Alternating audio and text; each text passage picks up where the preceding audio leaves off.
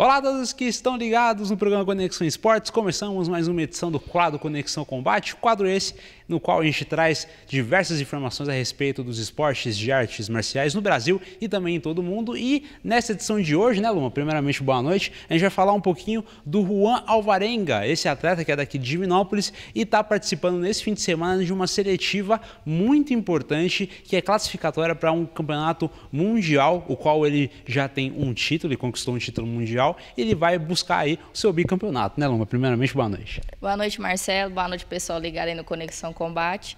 É, o Juan ele é filho do Irã, né? O pessoal aqui de Divinópolis, da região, conhece bastante o Irã, que é um dos, dos grandes, grandes professores, sensei de jiu-jitsu aqui da, da cidade. E, e aí a gente fica muito feliz em saber que um atleta divinopolitano está, né, como se diz, alcançando aí grandes, grandes, grandes lugares no pódio né? E, e aí só tem agradecer também a todas as artes marciais, porque aqui de Nova está precisando sim de ter grandes atletas assim.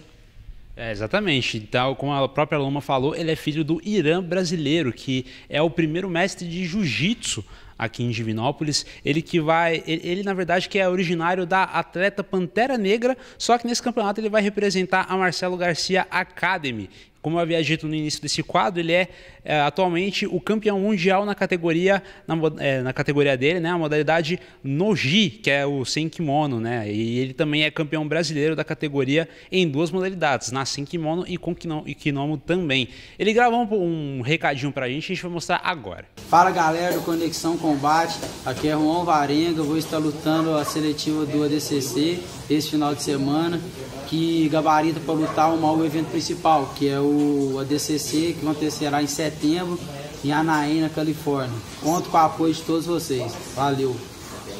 Isso aí, muito obrigado a Juan que mandou esse recadinho pra gente. Tamires também que colaborou com esse vídeo, esse vídeo também dele treinando na academia. E ele foi para São Paulo, esse evento que está sendo realizado em São Paulo agora, classificatório, esse evento mundial que vai ser realizado no mês de setembro, nos dias 28 e 29 de setembro, na Califórnia, nos Estados Unidos. Então a gente está aqui na torcida para que o Juan consiga esse feito e classifique para buscar aí o seu segundo título mundial, né, Loma? Qual é a expectativa em relação a esse atleta aqui de Divinópolis? Você que também que tem grande conhecimento aqui nas artes marciais aqui da cidade, tem a capacidade de conquistar mais um título, um atleta já com um grande gabarito de títulos aqui e é jovem, né? 20 anos de idade.